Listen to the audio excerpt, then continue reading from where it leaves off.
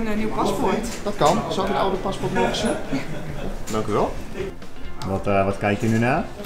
Ik controleer nu eh, de gegevens in eh, het systeem om te kijken of er meerdere documenten in omloop zijn, of er een signalering in staat, om te kijken of er eh, specifieke gevallen zijn waarin je bijvoorbeeld een eh, document niet kan of mag aanvragen.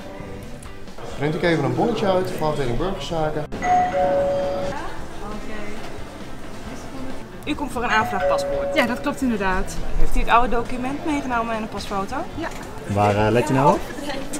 We beginnen te kijken of het paspoort nog intact is, geen gebreken heeft. En eh, de identiteitsvergelijking. En dat doen we door middel van de foto die in het document staat. eh, straks de handtekening. En we stellen eh, haar identificerende vragen. Wat is uw geboortedatum?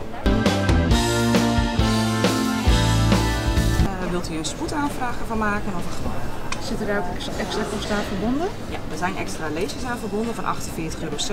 Hoe, hoe kan het dan dat als je meer betaalt dat je hem dan morgen al in huis hebt? Eh, nou, er worden eh, duizenden documenten eh, per dag aangevraagd. En het gaat allemaal naar dezelfde producent. Dus er zullen andere of extra handelingen in het proces verricht moeten worden.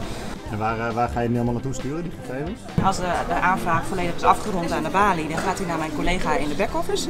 Die doet een laatste check op de aanvraag. En dan wordt het via het RAAS, eh, zo heet dat, eh, wordt het verstuurd eh, richting de producent. Hi, goedemiddag. Ik kom mijn paspoort ophalen. Heeft u het afvalbewijs meegenomen? Paspoort, dank u wel. Nou, hier is het nieuw paspoort al. Ik zal de gegevens er nog even van controleren. Nou, dan registreer ik hem nog even in het systeem. Wat gebeurt er dan als je hem registreert? Dan komt hij in het systeem te staan en het oude paspoort wordt eh, daarna vernietigd. Hoe gaat dat?